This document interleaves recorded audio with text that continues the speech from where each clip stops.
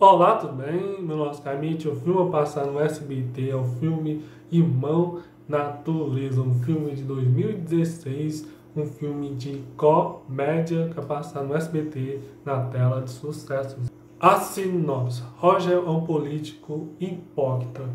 Planeja pedir a garota de seus sonhos em casamento durante uma viagem de fim de semana. O que não sabe é que seu potencial cunhado pode acidentalmente destruir seus planos. No elenco do filme, Irmã Natureza tem um autor muito conhecido por Kenna e Kel, Kenna Thompson. Kenna Thompson está no filme Irmão Natureza.